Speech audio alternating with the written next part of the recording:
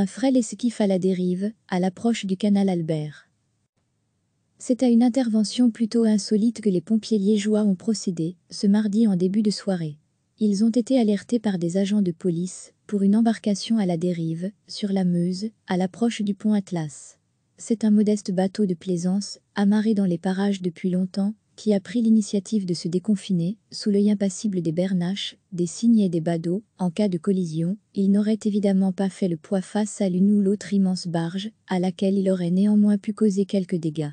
Il aurait pu, en aval, aller endommager le barrage Montsaint il a promptement été remorqué jusqu'en rive droite, où il a été solidement accroché à la péniche refuge de l'association en mots. Les causes de la rupture des attaches restent indéterminées. La navigation n'a pas été interrompue. Recevez chaque matin l'essentiel de l'actualité.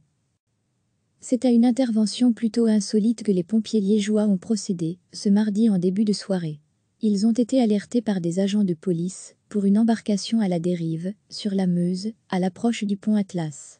C'est un modeste bateau de plaisance, amarré dans les parages depuis longtemps, qui a pris l'initiative de se déconfiner, sous l'œil impassible des bernaches, des cygnes et des badauds, en cas de collision, il n'aurait évidemment pas fait le poids face à l'une ou l'autre immense barge, à laquelle il aurait néanmoins pu causer quelques dégâts. Il aurait pu, en aval, aller endommager le barrage Montsaint. Il a promptement été remorqué jusqu'en rive droite, où il a été solidement accroché à la péniche refuge de l'association en mots. Les causes de la rupture des attaches restent indéterminées. La navigation n'a pas été interrompue. Cliquez sur s'abonner pour recevoir les dernières nouvelles.